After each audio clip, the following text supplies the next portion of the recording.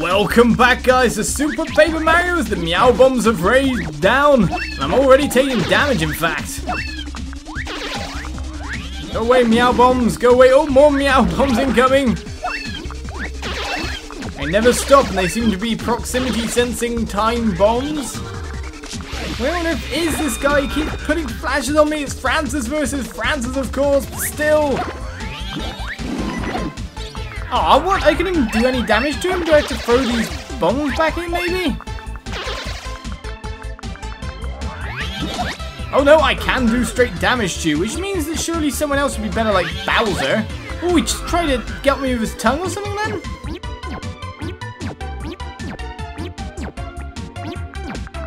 I know what's better, standing still moving. You can hear him moving about if we stand still. Instantly did 4 damage. Peach is taking it to him. Ah! Why did you... What the... Okay, we got out of that quite fast, but why on earth did you swallow Peach in the first place, Guy?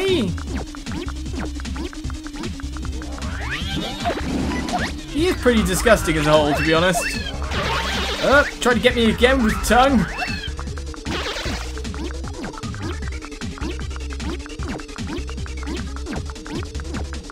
Feels like I keep moving him around. Oh, he's just appearing. Oh, we got to him just in time. He didn't even get to flash me. I was thinking, is there some way to track him or something? Ooh, just dodged you, didn't I, sir? But there is indeed. In a 3D world, he doesn't just disappear, he leaves a shadow. Surely yet again, Bowser would be the best. Oh, no! Eating Mario as well, how dare you? And a bomb's right in front of us. Right, we've all said and done. Surely Bowser would be the best option to fight a boss with. Is he going to end up eating all three of our heroes? I would have done 8 damage, I think.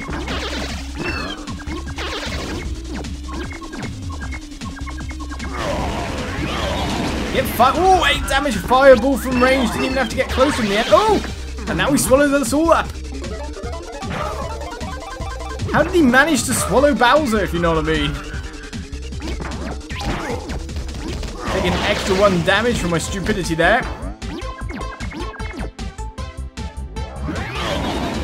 Take the fireball! Nah!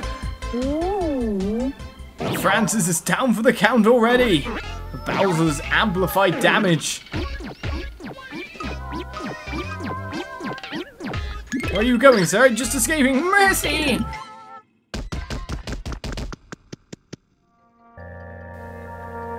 As we have saved Tippi. Mario, you guys came to save me. Yeah. Thank you. Thank you, Mario. I'm so happy. What is that?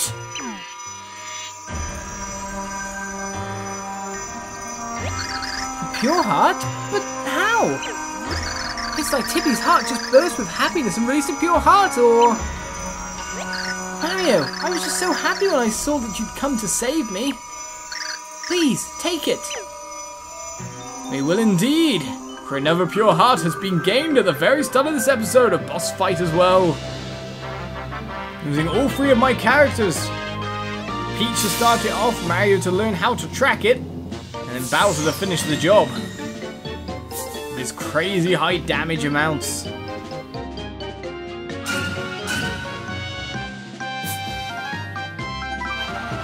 Pure Heart appeared in a dazzling flash of mysterious light. What made it appear? The group was puzzled by this and many other riddles. So, you're not hurt? asked Tippi, full of concern. Somehow Tippi seemed different than before. She'd started to change. Mario simply shook his head and started the long journey back to Flipside.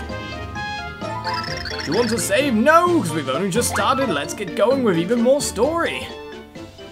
Now what's going to take place next? It seems we're over to the Minions of Darkness and Count Bleck, and that is how the ruffians managed to best me. they are strong to be sure, very strong. Dare I say, they might be strong enough to defy the prophecy. Spare Count Bleck your theatrics. The light prognosticus is false. The dark prognosticus holds the answer to eliminating heroes and tries to stop us. Oh my, that's the first time that of information has touched my ears. Do tell. In due time, Dimentio. In due time. Oh, Nastasia. It's time we set him on these pests. Yeah, I can take care of that for you, Count.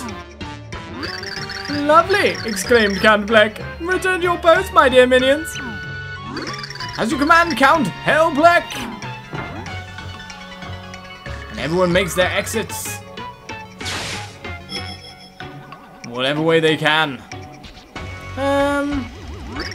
Something trouble you, Anastasia?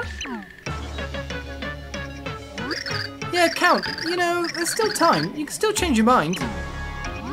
That is enough, Nastasia. We've already come this far, so we shall forge on. But you needn't stay by Count side. You can depart with my blessing. Uh, no, my Count. I won't be doing that. My life is already sworn to you. Yeah, it's belonged to you since the day you saved me. I'll be sticking it out with you until my game ends, Kay? If that pleases you.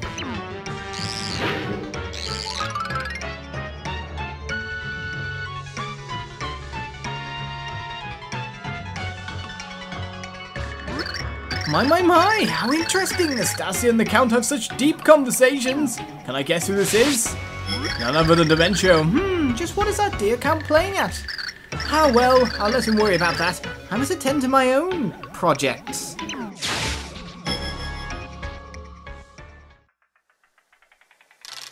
Timpani, why? Why do you avoid me? Ow, ow! Unhand me! Huh? You're crying. Why? Timpani, you must tell me what has happened. It's nothing. Don't worry about it. Just forget it. Oh no, Timpani, is my father behind this? I'm I'm just an ordinary girl. No matter how much I love you, we must part. Timpani, I... This is goodbye, Blumiere. There's no other choice. This is our fate. And another bit of mysterious Texas red, but we are back to flip side. That was a little weird for a while, but we seem to have gone through it okay. I'm so sorry. It was all my fault. And then you all... Thank you so much. Yeah. Wanna know how to thank me, Bugface? Just stay out of my way, okay? Say, come to think of it, Bowser, could you be our third hero? Oh there! I'm guessing it's Merlin, or Merlon even. I have been waiting for you, young heroes. Did you succeed in your search for the next pure heart? I guess we did. Intriguing. So then, when you saved Tippi, the next pure heart just appeared? Hmm, how very interesting.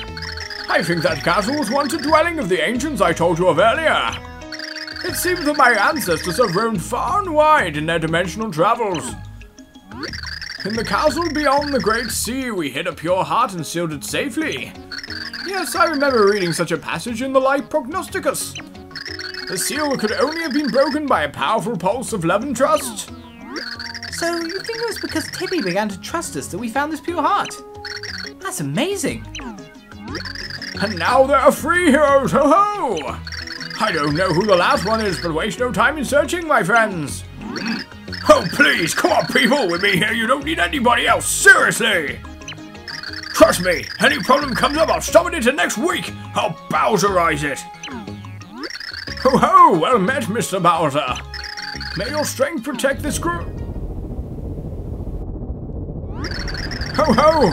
It seems the void has expanded once more, time is short! We have to keep going. We must start looking for the next heart pillar. There are matters I must to attend to as well. I must search for any item of significance in the Light Prognosticus.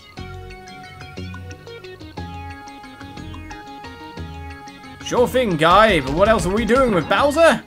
Well, first things first, we're actually heading back into Chapter 3.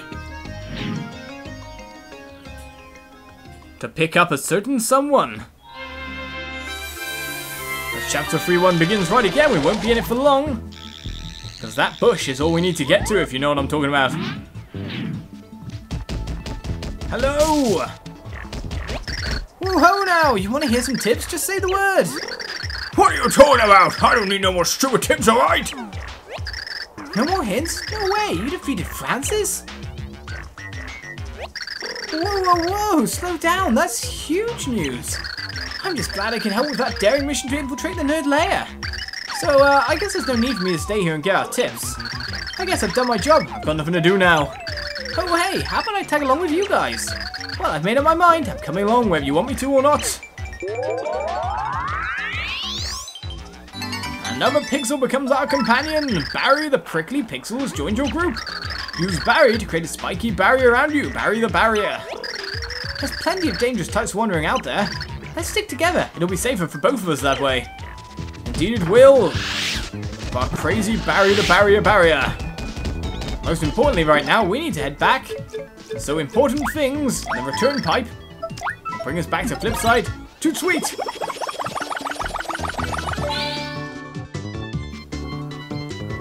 So the search for the next pillar begins. Should we just jump off the edge or should we go down to Merlon and see if he has a clue for us? Oh, Bowser, you're so slow. You lumbering oaf. But I love you. You're the best, Bowser. You're the best.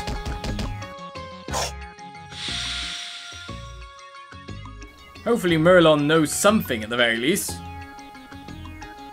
Otherwise, this could take quite a bit of searching. We have a warp pipe all the way back down low, but that's mainly where the Pit of a Hundred Trials is and stuff like that is, so that's not going to help us that much. Let's get through as much of the light prognosticus as possible. Why do you linger here still? You must hurry to the next world.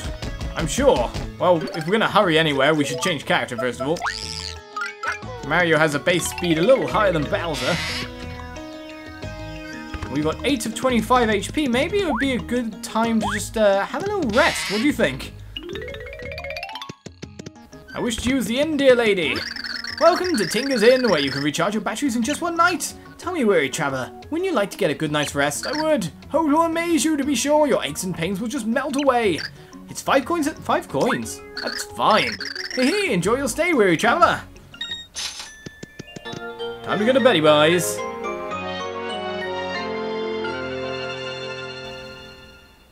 And now with full health back once more.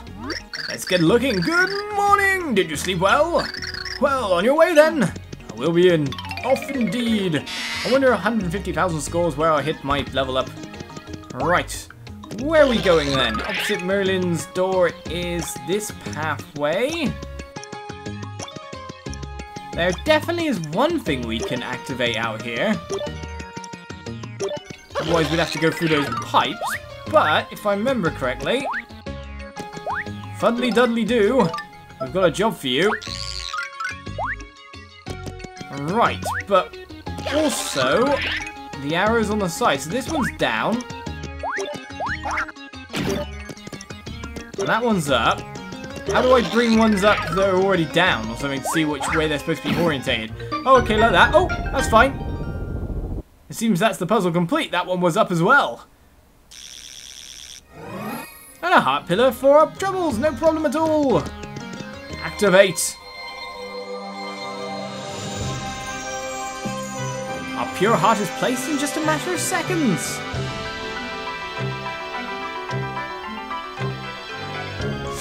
With Barry the barrier to distract us anyway.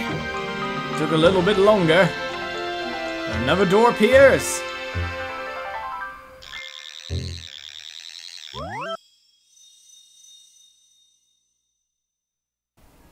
Time to see what lies behind the green door.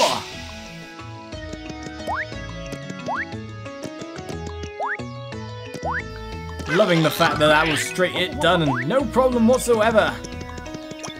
No massive exploration needed, though I do wonder about side quests. No trouble center? What's with that?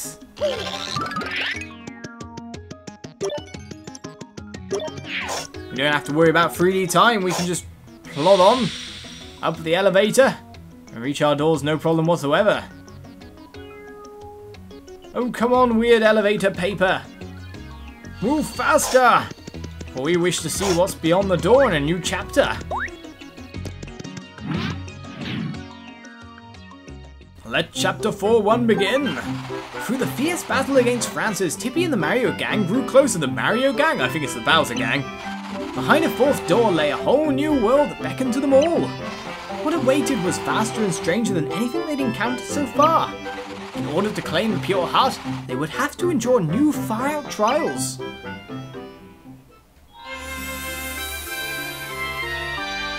Chapter 4 1 Into Outer Space! We go!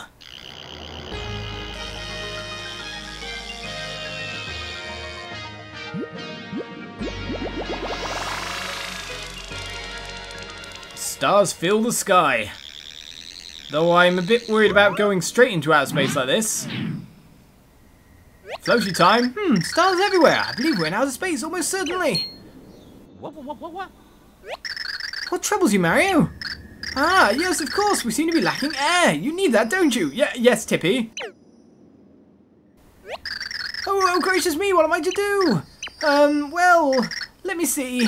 Um, uh, well then, well, well, but so, no!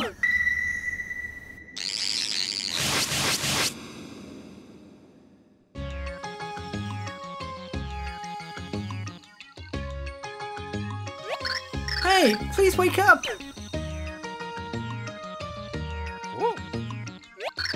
You're right, aren't you? Oh, thank goodness! I don't really know how he got us all out of there, it just sort of happened. We won't last out there as we are. Perhaps we should ask Merlon's advice. Perhaps Merlon should have given us some advice earlier. But here's an interesting fact. It is possible to survive in the vacuum of space for a little tiny bit. Because of course all your oxygen is leaving your body and it's not good. Yes, death is inevitable. But there is like a small time frame where you are conscious, like 1.7 seconds or something like that. And then if you're not brought in into an oxygen oxygenated atmosphere or something within like five to seven seconds or even three seconds, that's it. So you can actually survive for the tiniest time. tiniest time. I wouldn't advise it though. Ho ho! That was certainly quick work. You've already found the next pure heart? No, Merlon. That door led us straight into outer space. Space? Oh ho! I imagine that was an unwelcome surprise. Oh yes, there was no air, so Mario and his friends could breathe. What do we do? Why does it look to me like he's got some kind of I knew troll face on? Hmm, well, if you had a space helmet, you would be alright, I imagine. Well, you need oxygen tanks and the whole suit. And you have one? Of course, I don't have one. But I imagine that even something like a space helmet would suffice. Yeah, sure. And I just so happen to... Oh, blast it! What now? Oh, double blast it all! I cleaned out my shelves the other day! Yes, I had the perfect thing, but I was making space and I gave it to someone in town. To who? Oh, just some random boy. It seemed more convenient than recycling it. You must find that boy and explain the situation. Get it back from him. Sure thing, but there's not many... Okay, random kids we've met. I'm pretty sure we've seen, like, girls like that, though I wouldn't label her as a kid so much. That's a lady. There's... No, that's a little girl. Little ponytails, it seems. There is another child up near the first heart pillar. Try that one. And then try on our magic spacesuit, surely. So first time we were in space, of course, we were on the moon in Thousand Year Door, but that was in Oh, there we go, and it's a goldfish bowl. But yeah, that was down to the star spirits allowing us to breathe or something along those lines. Huh? Did Merlon give me something like a helmet? Gives me? Yes, it did. You means this fish bowl? Yeah, I kept it, Captain Gills here, in a cup, but then he got too big for it. Yeah, that's why I got real happy when I got this fish bowl. What's with all the extra S's? Thing is, now the captain got so big, the bowls got too small for him. Hey, I know. Maybe you could find a nice place to set Captain Gills free for me. Captain deserves freedom. Then you gets the fish bowl. That good, okay? Yeah, huh, yeah, sure. but where can he go? I want to know that he'll be nearby at all times. You got to help me. All the extra S's are messing my mouth up. You can't use this yet. Find a place to release the fish. Okay, let's release the fish somewhere nice and wet and all that jazz, where I think we've seen a little puddle along our ways during our massive exploration adventure. somewhere near that warp pipe, if I'm correct in saying. Shouldn't it be down the magic warp pipe that we made for 100 coins and then up a level? Near that bar? If I'm not mistaken, it can't be far off from there. This is heading all the way down after all. I'm glad that we made it in the end. But maybe we're too far down. Mario, switch perspective.